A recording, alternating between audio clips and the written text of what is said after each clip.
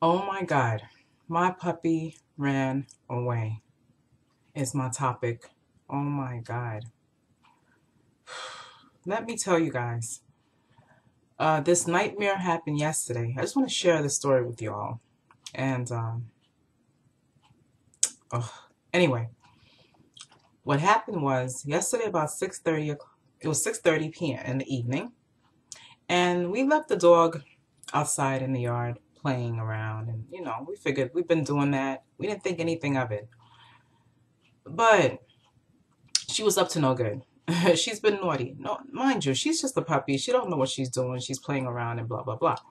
So she started digging a hole. And she digged it so deep that she was able to go underneath the fence and escape. That's how deep the hole was. So there was two little boys that lived next door to us. They were playing and they saw what happened. So what they did was try to catch the puppy. But instead the puppy started to run. Because that's what she does. If you chase her, she's going to run. She loves that. She loves when you chase after her. So then the puppy went across the street to the other neighbor's house.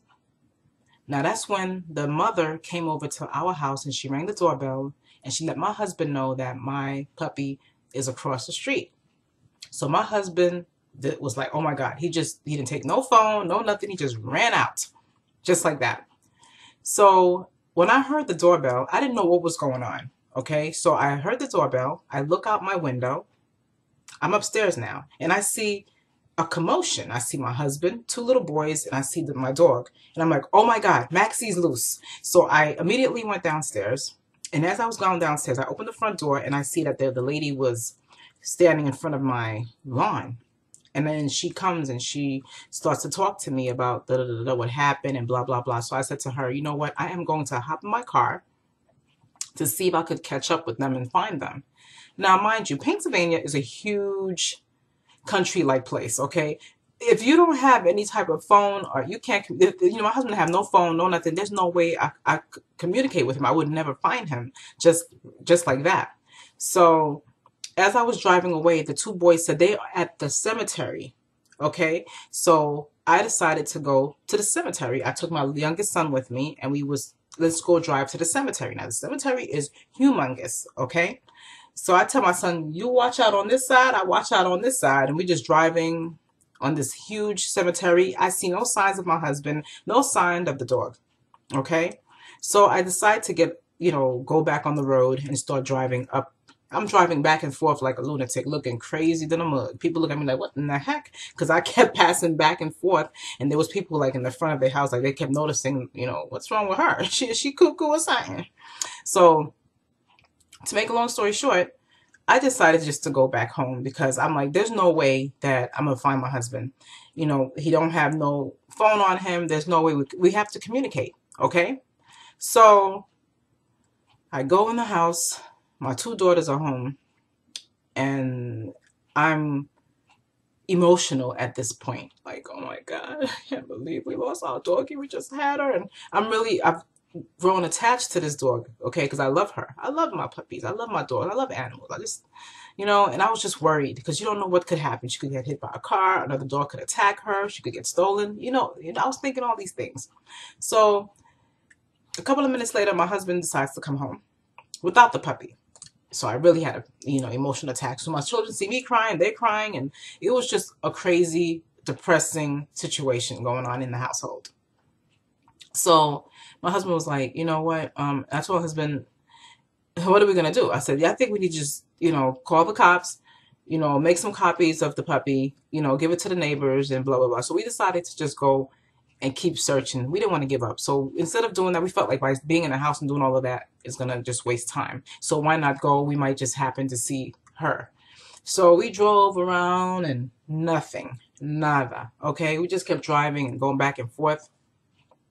And I was like, it's a wrap. She's out of here. And then, you know, and we had like this crazy road where there's big trucks that passes there. You know, you find a lot of dead deers and you, you could get killed on that road, especially with this puppy. She's like crazed and she's not thinking and She's like, you know, and she, you know, so we automatically was like, maybe she's passed away.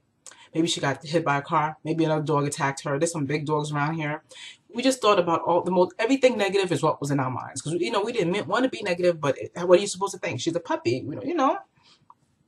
So you know, I'm so thankful for my neighbors. Um, we spoke to a couple of people. We gave them our numbers. If you see this puppy, please let us know. Blah blah, call us. But we even went to like different neighborhoods, like um, you know, close to our town, but you know, further out because you know the puppy could be anywhere. We was driving around. We saw people walking. It was like, "Have you seen a puppy?" That here's my number. They, we gave our number out. If you see anything, please give us a call. Blah blah blah blah. So this morning, uh, uh, one of the ladies that we met she uh, calls my husband to let him know that she sees our puppy. Now, I want to play this message for you guys, and she called me as well. And listen to this. Hi, this is Donna, and I'm calling because your husband was walking up and down my road last night looking for your dog. Um, your husband Sam gave me your phone number, and I'm try- driving to work, and I believe I see your dog. He's on Old Easton Road it is house number 202 as you come down Old Easton Road from your home. Continue down the road, go around the bend, and halfway down that hill is a big white house. And that's where I last saw him sitting on the porch. Um, but he won't let me near him. He just like barks at me. So if you can come get him, he'll be safe. Okay? 202 Old Easton Road. Thank you. So that's the message that I got this morning.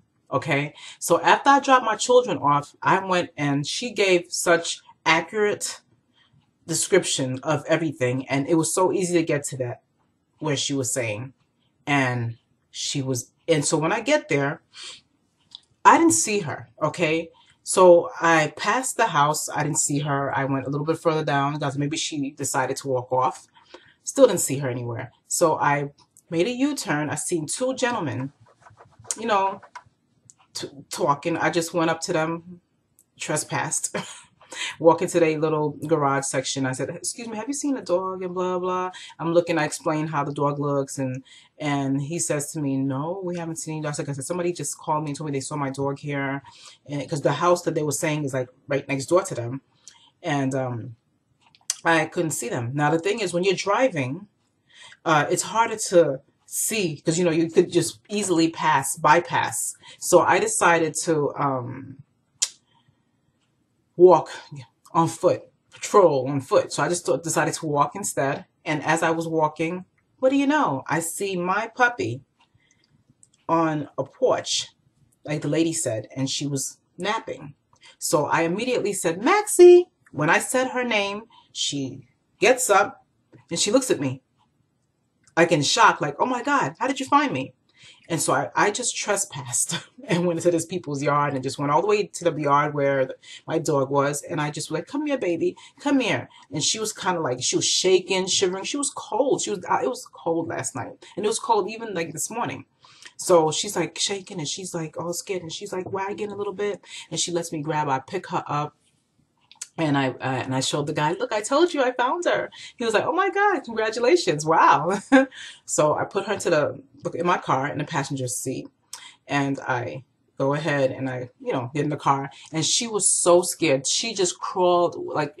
You know, she just walked over to me and she just stayed on my lap and she didn't want to go anywhere. She just stayed right there and I held on to her. I said, I got you, baby. I got you you it's, it's okay mommy got you. So i drove home with her and she's home and that's the story. So the moral of what the story is i have to be very we my family we have to be very careful. When you have a dog who's a puppy you cannot leave her alone because they get into a lot of things. They like children. It's the truth. They do things and things happen and it's our fault. We trusted this puppy not thinking that she would dig holes and she would do what she did, but she did. So now we have to just, you know, secure the yard and do better. So with that being said, that's my story. God is good. Thank you, God, for bringing us the puppy. My children are devastated. They went to school today depressed, praying. And I, and I told them, mommy's going to get your dog. And I did get my dog. I got her. Okay, so I'm going to show you guys what's, what's, what's going on with her right now. I'm going to post